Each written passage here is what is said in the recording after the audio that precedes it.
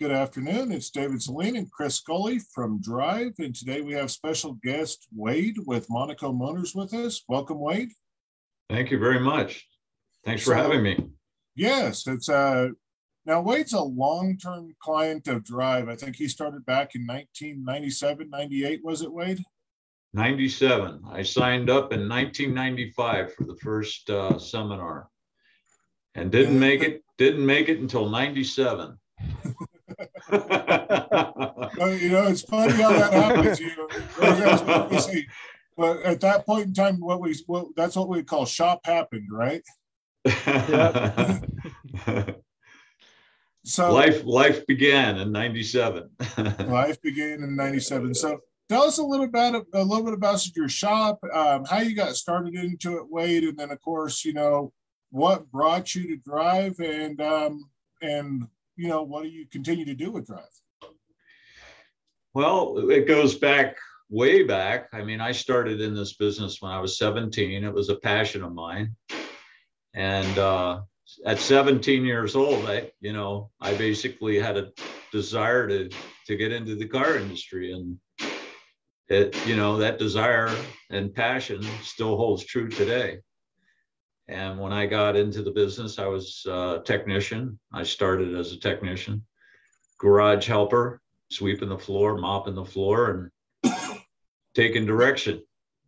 And I worked for a, a staff of German guys. Uh, this was in Santa Monica, and they were from Germany, and uh, their English was pretty broken. They, you know, they had a little language barrier, and I think I was the only English speaking uh, person in the shop. wow. And uh, yeah, so, you know, it went from there. Uh, that was actually a Mercedes Benz specialty shop. And I worked for them for quite some time. And then I, I left them and went to work, uh, actually working on uh, Volkswagens and Porsches. And I did that for many years. And, and then uh, I uh, had a desire to get into just strictly specializing in Porsche. So I went went to a Porsche shop, worked there for good many years, and then that was in West LA. I worked there for five five years, and then from there I got recruited by a guy that was from uh, Switzerland, and he he had a place called Beverly Hills Sports Cars, and I went to work for him. He uh, stole me away from the Porsche shop and asked me if I wanted to uh, endeavor into uh, Ferraris and exotic cars. And I told him I knew nothing about Ferraris or exotic cars, but he was so impressed with the way I did a vehicle inspection that uh, he made me an offer I couldn't refuse. So I went to work for him and did Italian cars. He taught me Italian cars and Lamborghinis, Ferraris, and I got into other exotic uh, European cars, Rolls Royce and um, Maserati. And from there, I uh, I still had a desire to open my own place, and I ended up opening my own place in 1991. Uh, my goal was to be a shop owner, and uh, I looked around and looked around for a property, and I found a property out in the San Fernando Valley, which was out of my uh, out of my uh, realm of where I worked. And I was always working over in West LA, Santa Monica, Beverly Hills. But now I'm over here in the San Fernando Valley. Found a building that was really nice and beautiful and uh, brand new building, new construction. It impressed me. And I just took the risk and dove in and had a thousand square feet when I first started. And then in 1995, I uh, was approached by Management Success, and I ended up going to. Well, I didn't go right away. I uh, continued working. I had my toolbox all uh, open and uh, turning wrenches, and you know, just doing the work. And by that time, I had. I think I had one employee and he ran the front office, took the appointments, and I did the work on the cars. And then a friend of mine signed up for the same seminar that I did. He signed up in 97. I signed up in 95. I prepaid for it. he convinced me in 97 to go and do the seminar. So I ended up locking my toolbox and went to the seminar. And then from there, you know, it was an eye opener, you know, and really opened my eyes. And Mike Lee, who was the founder of Management Success, was the uh, speaker. And he was the one that was giving the seminar. And it impressed me so much, you know, in the end, uh, at the end of the seminar, they they talked a little bit further about, you know, education and, you know, getting educated in all areas of, of the automotive business, uh, which basically I had no education whatsoever, had no education of running a business or looking at numbers or looking at statistics or anything. So it really impressed me. I was really impressed by Mike Lee and I signed up and signed up with Management Success. And from there, you know, my life forever changed.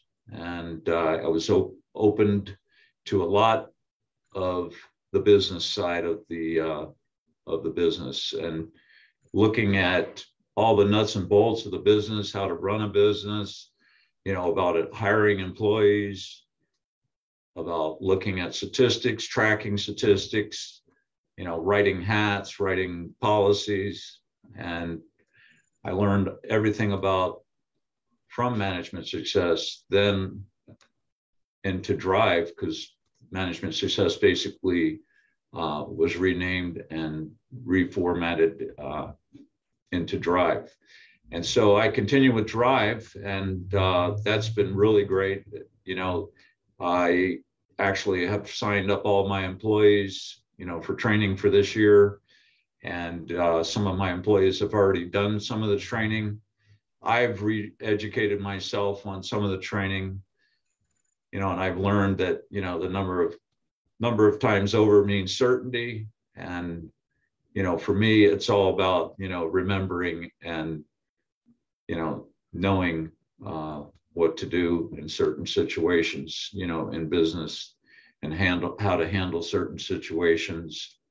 Uh, it's really important to me, and it's important to uh, the well-being of my business. So it's good to be here, and thanks for having me here. Okay, great. So awesome. I have a question for you, Wade.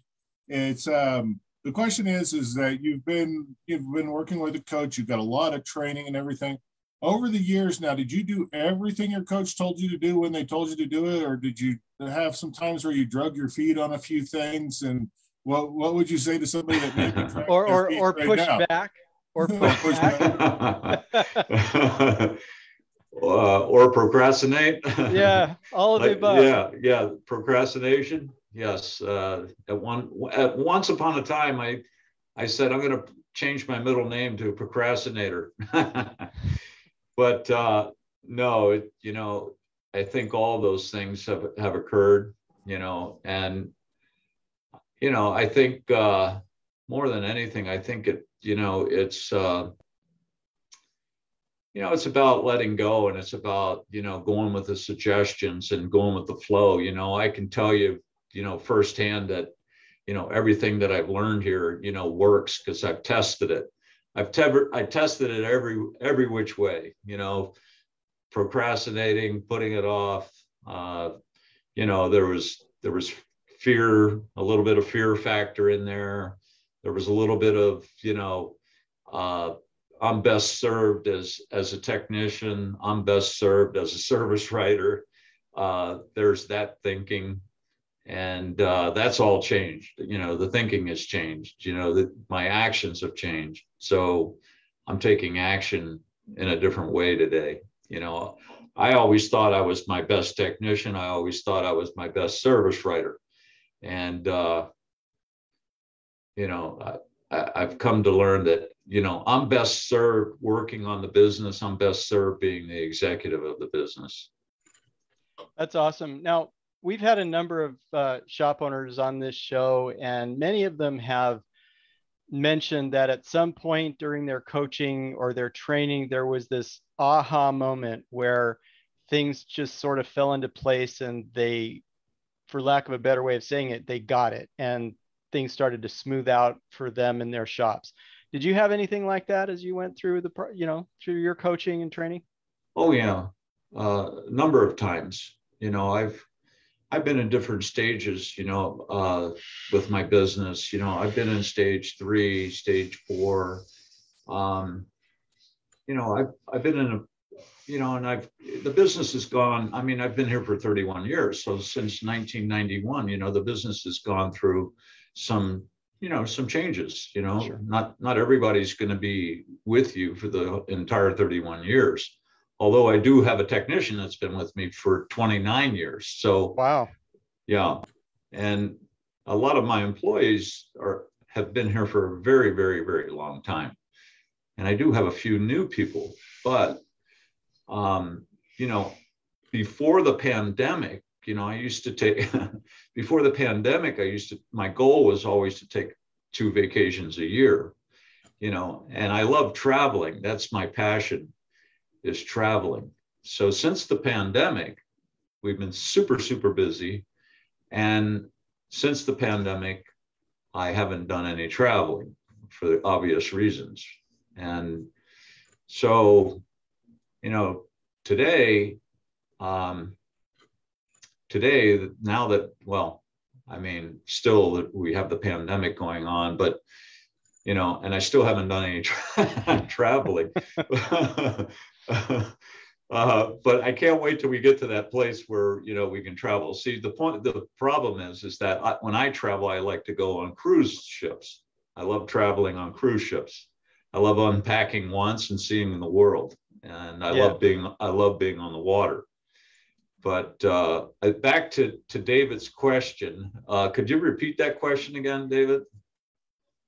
Well, I think we are talking about the aha moments yeah. uh, you may have had along the way. Like, you know, I, I know with my shop, there's just one day and you, you, you're going through everything. And ours was, we were actually submitting to become masters and we sat down and started looking at the numbers and the graphs over a three four five year period and, and then it hit it hit you all at one time. Wow i didn't realize how much we've grown in that period of time or eh, because you know you're doing it step by step with your coach and there's smaller steps to what you can handle as a shop owner but when you put the whole picture over a four or five year period or in your case over a, a 20 year period with drive it, i'm sure there were some moments you're like oh, this is great. yeah. Well, I got to I got to tell you, um, right now we're we're on track to having our best year ever in business right now, and uh, you know, looking at the numbers and everything, you know, and looking out another six months because you know right now you know we just finished the first quarter of the year right now we're into the second quarter of the year and by june which is next month you know if everything stays on track you know we sh- we should be you know our goal this year is to hit 2 million in gross sales. And you know we've been always hovering around 1.4 1.5 but this year it's looking like we're going to hit uh, 2 million in gross sales. That's wow. Awesome. What what changed that that got you through that ceiling? Well, I turned a lot of things over. I've turned a lot of things over to Drive. I've turned my website over to Drive. Um, that's that's helped out tremendously. Uh, that was, I mean, everything everything as far as changes that I've made, like in the last year and a half, mm-hmm. have have made the difference. And uh, the website. You guys are handling my website, and you know that's made a big change in my life and the way things are done around here because I used to collaborate. I used to collaborate with a graphic artist, and um, you know I always enjoyed you know the uh, the creative part of that. You know I've always enjoyed that, and I I still continue to create specials, you know, with him for my business but uh, he was handling the website and the, the, website wasn't being you know kept up there's a lot of lot of things that need to be kept up on a website you know continuously you know right. plus the blogs i have blogs with you you guys you know on the website you know the uh, the website's kept up to date which is fabulous. Plus, you know, there's a way for customers to submit questions. There's ways for customers to uh, request to be, you know, on the email list and, you know, be on our mailing list. And uh, so that's that's helped out tremendously. We get a lot of requests. We even get regular customers that are communicating through to us through the website, through our website. That's I was actually great. working on that today on some of them, but uh, that's all been tremendous. It's been great, and uh, you know all the uh, the Google ads and stuff like that have been great that you guys have been doing for us. We really appreciate that. Awesome. Now, earlier you mentioned that you've signed up all of your, your employees for training as well. And I know mm-hmm. that uh, Jennifer was in a class I recently taught. And um, talk about the impact that training your employees is having on the shop. You know, over the years, you know, I've I've had you know people come, people go, uh, especially in the front. Uh, and I've I've sent over the years, I've sent people from my front office, you know, to the service writer school. And Jennifer just recently took this, redid the service writer school. She did it once originally, I think about it about a year ago, and then has done it again this year. I've done it three times, and you know, it's always you you always you know what you missed the first time is like a movie you know? What you missed the first time you pick up on the second time and it's good to hear the information over again. And it, it's really important. That's always been my favorite class that you guys put on is the service writer school. And i can tell you you know that every time somebody has ever taken the service writer school they've always come back you know that much more knowledgeable about how to handle the phones, about how to handle price shoppers, you know, how to handle um, every aspect of picking up that phone and talking to a customer, you know, smiling when you pick that phone up and, you know, no matter what you're going through, you know, be in that place of, you know, wearing that smile and, and handling customers when they come in the front office, you know, the things that you learn about, you know, having multiple people in the front office and how to handle the people all at the same time, you know, and also having that that knowledge of the diagnostic check sheet and asking all the questions to get the people in into the shop mm-hmm. without giving a price. So important. That's great.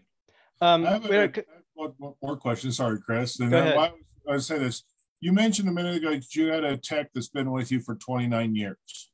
And right now, finding techs can be challenging for some shop owners out there.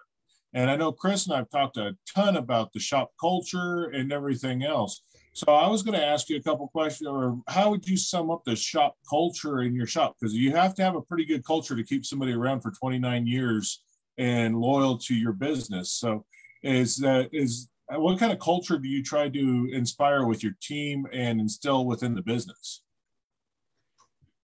Well, the, the kind of culture around here is basically, you know, uh, we we want to take care of the customer. You know, we want to take care of their concerns and their needs, and you know, we actually, and I'm real big on, uh, you know, training and schooling. Um, you know, when we're talking about the front, we're talking about the back you know, I'm big in both areas as far as training. So, you know, we're all on the same page about, you know, knowledge, taking care of the customer, you know, and, you know, making sure that, you know, the customer's taken care of. And then when they leave here, when the customer leaves here, they leave happy, you know, not, not with any kind of like uh, concerns or scratching their head or they didn't understand. We want them we want them to understand, you know, and have an understanding when they're walking out the door. We don't want them to be have a, a question in their in their mind, you know, when they're leaving here. So as far as the culture goes, you know, there's there's no yelling, screaming in the shop. You know, there's there's there's calm. It's very calm you know, and I think that filters down, you know, from the top down to the shop, you know. Absolutely. Yeah. That's great. Um, we have a couple of questions from our audience. Um, first, Lynn wanted to know um, how many techs and service writers do you have in your shop? I have four techs and I have two service writers. Great. And then um, I, I, know a lot of shops are experiencing issues with parts, and particularly um, Lynn mentioned she's having trouble getting European parts. Are you having those, those kinds of challenges? And if so, how are you handling those? You know, when the pandemic hit, um, it's quite interesting, you know, uh, because we noticed that around the time the pandemic hit, you know, we couldn't get batteries for certain cars. The dealers didn't have any batteries. Um, we asked them what they were doing. Uh, the BMW dealer up the street, what they were doing, the cars were just sitting until more supplies came in. Uh, the cars would just sit there. Wow. And uh, yeah, no batteries. So there oh was a God. there was a time period where you know that was going on. I'll tell you something else that's still going on with that same dealer is is that you know when the ban- pandemic started, you know all of a sudden the phones weren't getting answered at the dealership, you know, the parts department. And that's still going on today you know the phones aren't getting answered so we got to call back not only two times sometimes three times there's a recording it goes into recording and then you got to leave a message and then you got to wait for them to get back to you but then you know that's the local dealer and then we end up reaching out to some dealers that are not so close to us and you know having them deliver to us and we can deal with them directly if we don't you know if we're not in a real big hurry for those parts and that that actually has worked out for us. But uh, as far as what the other thing that we've noticed also is is that it seems as though you know these cars you know when they get out of a 10 year period you know the the dealers aren't really uh, you know they're not really obligated to to make parts for these cars after a 10 year period. And we've fi- have found during the pandemic that that 10 year period seems to be more more uh, in place than ever before. You know we're finding that that these cars if if they're over 10 years old you know there's no there's no parts there's certain parts that are unavailable for them and that makes it a kind of a challenge gotcha all right um well, I was gonna just kind of follow ahead, up on there because there were some pieces that we heard, but it came with Lynn's uh, piece there though. And I just wanted this is not so much a question late, but it says just saying a well done with your shop right there. Because when I hear a shop that's going to be going to two million dollars in sales this year and doing it with four techs, I think that's an impressive thing that all of our viewers need to hear is that sometimes you can't find a tech, but you can be more efficient with the people that you got in your business. And it is very possible to make a shop that is a $2 million shop with four techs. It's about your workflow and how you got everything organized. And I think, Wade, you hit on it the best. You train everybody in your shop. Yeah. Well, you know, these guys, the crew is a great crew. They have you know they have great attitudes um, i think you know learning you know the tone scale earlier at management success and uh, learning uh, to hire properly you know has been a key factor and you know i think uh, culture more than anything is is key and I think you know there's some there's some key things. You know, uh, knowing what to look for when you're hiring. I, I learned that from you guys. I have uh, two of my techs are graduates of UTI. They're the the more recent and newer employees.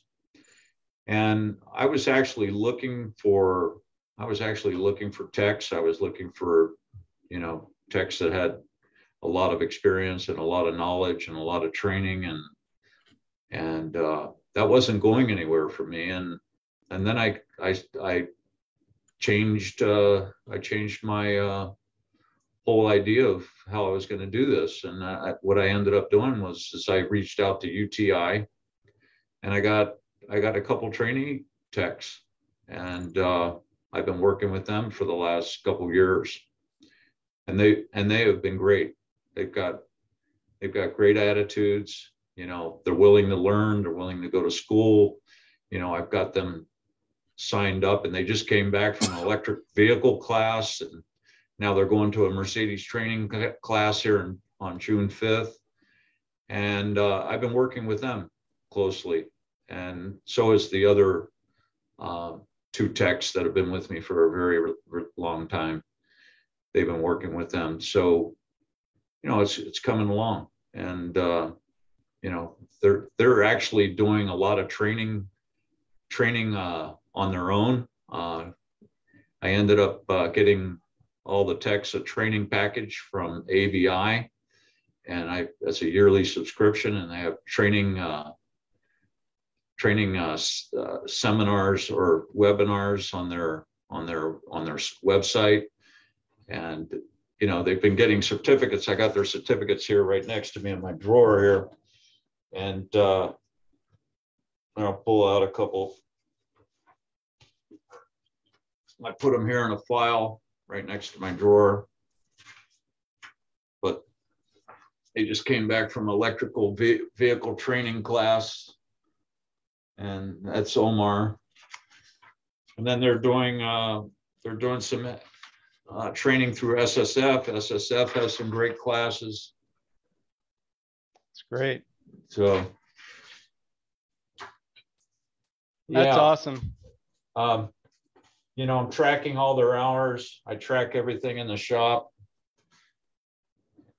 their billable hours, and you know, they're coming. They're they're coming along that you just brought up a big point there, Layton. I know you track and you use your KPIs and the graphs and everything. I know there's a lot of newer shop owners that we have in our in a drive and everything, and we are teaching them how to use the KPIs. And sometimes it can be a little overwhelming. Like, you want me to track how many numbers? But how many numbers do you track in your shop on a weekly basis right now? Would you say? Well, I'm tracking the, the billable hours. I'm tracking the gross sales. Uh, I'm tracking uh, uh, I'm tracking, you know, money to where money is being distributed, like reserves. Um, I'm tracking, uh, you know, my reserves, and uh, I'm tracking uh, RO count. And let's see, I'm also tracking uh, new customers. Uh, new customers, that's important. It's important to track that, you know, and where they're coming from. I track where they're coming from. Um, and uh, let's see, uh, accounts payable, tracking that. Um, I am tracking, what else am I tracking? Uh, there's a few other things I'm tracking. So you're, you're, uh, you're tracking several different KPIs and everything. And the big question I asked for you, after you got trained and started using them, when you pull up your graphs and you look at it, how long does it actually tell, take you to look through the graphs and say, I know what's wrong, I need to go, or I know what's going right? It's not like a all day event anymore, is it? No, not at all. I, I know what to look for. Yeah. Yeah. I definitely know what to look for. You know, whether right, it's whether it's to do with sales, whether it's to do with, you know, car count, um, you know, I, I, I, can look at it and look at it over a period of time. I can tell what's what's going on. You know, if if it's actually trending in the right direction over a period of time or where it's trending. That's great. So I have to ask this question. Are you looking forward to the expo? Oh yeah, yeah, yeah, I, yeah, yeah, yeah. That's always great. And uh, the last one before the pandemic, yeah, that was a lot of fun. And I I remember seeing David there. I think you were wearing a long jacket and a and a cowboy hat. That was the that was the theme for the for the fun night that we had. So that and that, I, that I always leave up to my wife. She she, she just she just, uh, just comes in and says, "This is what you will dress as." So we, but it is always fun. The theme night, having yeah. fun, but the awards, the training, everything that goes on yeah. the expo is just great. The networking that I think we you can't you can't find a better place to network with other shop owners. Oh yeah, yeah. You, you know, and I'll tell I gotta I gotta admit, you know, there was there was years where I I missed these fun events. You know, I didn't go. I thought, well, nah, I gotta stay here. You know, I got I thought I could I, I thought I could be my best service writer, you know. Uh, and and uh, you know, that's been my downfall, you know.